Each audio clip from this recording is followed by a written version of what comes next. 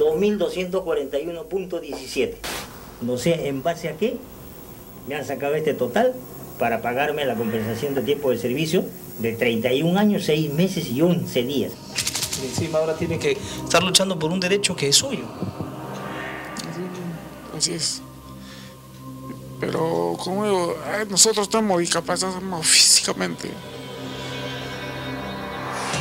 Eso todo lo tenemos. Y vamos a luchar. El técnico de primera, Félix Vázquez, y el suboficial Alberto Tahuada encarnan el drama de miles de policías jubilados que recibieron una irrisoria suma de dinero como compensación por los años de servicio al frente de la gloriosa Policía Nacional.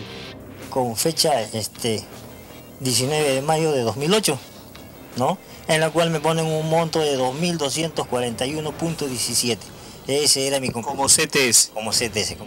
Ese monto correspondería al cálculo total que le hizo la Dirección de Economía y Finanzas del Ministerio del Interior, sin tomar en cuenta que existe un precedente que establecería una cantidad diferente, según el abogado especialista Félix Chinchay.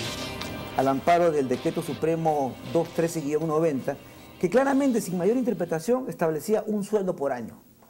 Por lo tanto, por ejemplo, si una persona ganaba pues 2.000 soles, por llamarle así, multiplicado por 10 allá 60 mil soles.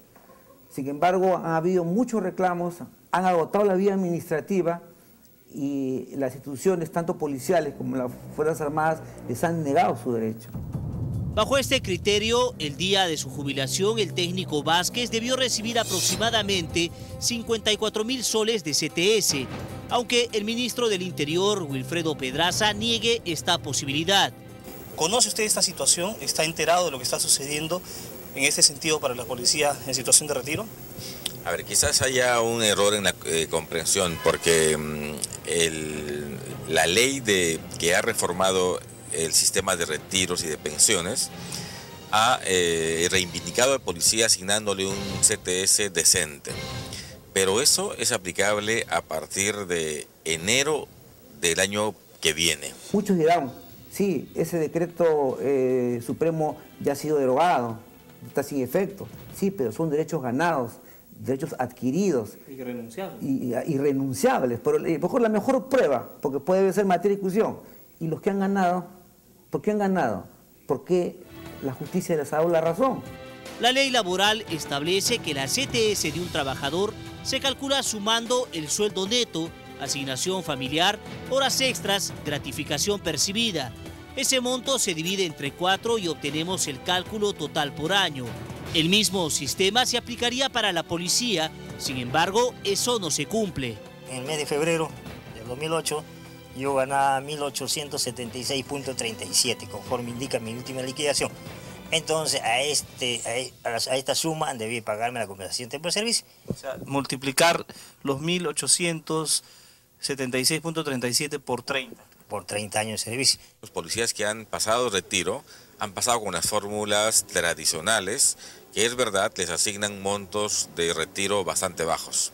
Entonces puede estar habiendo un problema de comprensión en la vigencia de la ley. En mi caso particular, cuando yo pasé retiro recibí 820 soles y unos recibían hasta 800, hasta 2000 soles, ¿no? El único sustento que había, sí, que lo han entendido como una especie de compensación por tiempo de servicio, era el Fondo de Indemnización de Retiros donde te pagaban una cantidad pues, de 30 mil, 40 mil soles. Pero eso no era una CTS, sino era un aporte que salía de tu, propio, de tu propia remuneración que te descontaban. Pero el caso del suboficial Alberto Taguada, quien terminó parapléjico por defender a nuestro país en la lucha contra el terrorismo, es aún más indignante. En el momento de salir al retiro yo, cuando me persono a la dirección de bienestar de ese entonces, bueno, no se me hizo el pago por la compensación de tiempo de servicios y tampoco se me informó como debería ser ¿no? una obligación de la Dirección de Bienestar. ¿No le han dado ni 10 céntimos, digamos, de CTS? Eh, no, en ningún momento me han pagado nada.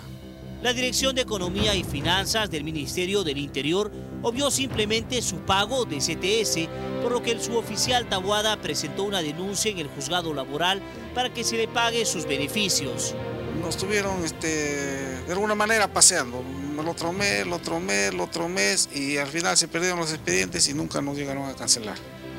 Han pasado desde el 2006 hasta la fecha siete años y nada. Y, hemos quedado en eso, no, no, no, no se nos paga hasta ahora. Al momento hay varios casos pendientes por resolver en diferentes instancias judiciales del Estado y solo algunos que han ganado el derecho de reconocimiento real de esta CTS policial. ¿Qué ganaron entonces algunos y si esto recién se va a aplicar? A ver, no, no, no tengo esa información precisa. Eh, habría que ver de qué se trata, pero reitero, eh, la CTS conforme la ley eh, vigente es diminuta. Parece que el ministro lo desconoce, pero a la fecha ya hay varios policías retirados que recibieron su merecido reembolso por CTS, aunque por seguridad prefieren ocultar su identidad. Bajo esta misma realidad, se encuentran también miles de militares que ni siquiera estaban enterados de la existencia de la compensación por tiempo de servicio. Voy a indagar en todo caso de qué se trata, pero... Es un buen número, son obviamente varios miles. Si hay mandato judicial, nosotros no tenemos más alternativa que eh, dar cumplimiento al mandato judicial, como lo hacemos siempre.